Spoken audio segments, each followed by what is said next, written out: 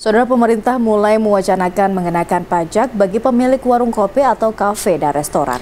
Pengutipan pajak ini diberlakukan oleh pemerintah untuk menambah pendapatan asli daerah. Wacana akan mengenakan pajak 10% bagi pemilik warung kopi, kafe, dan restoran yang dibebankan kepada konsumen yang minum kopi jadi sorotan berbagai pihak.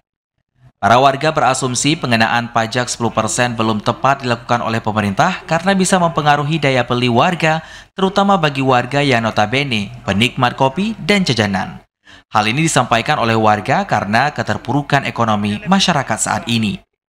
Salah satu warga, Yan Prima mengatakan, pengenaan pajak bagi konsumen untuk saat ini belum pas dilakukan oleh pemerintah karena dengan adanya pajak tersebut bisa mempengaruhi daya beli warga yang pendapatan bagi masyarakat pendagang.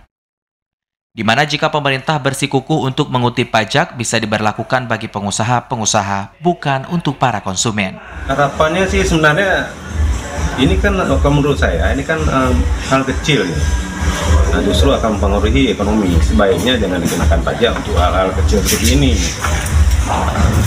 Kenapa nggak dilihat aspek-aspek yang memang menguntungkan bagi daerah atau bagi bagi uh, negara? Lihat bagian lain yang bisa dikenakan pajak. Sekarang kan uh, posisinya ini kan kalau kopi buat raya kecil kenapa nggak dilihat yang komisinya lebih besar yang memang di, dikelola oleh uh, donatur-donatur yang besar Meski demikian, sebagian warga lainnya turut mendukung wacana pajak ini sebagai langkah untuk peningkatan pendapatan asli daerah. Di mana dengan adanya pajak tersebut bisa meningkatkan pendapatan asli daerah itu sendiri yang nantinya bisa digunakan untuk berbagai kegiatan yang ada di daerah. Ya, kalau untuk pajak daerah ya bagus ya. Cuma kan yang bagusnya itu pajaknya dengan mana ini satu gelas kopi sekian pajak gitu kan. Bagusnya pajak dibebankan ke orang punya kafe gitu. Ini berarti kopi biasa ya 4.000 atau 5.000 ya sekarang berapa? Karena ada pajak.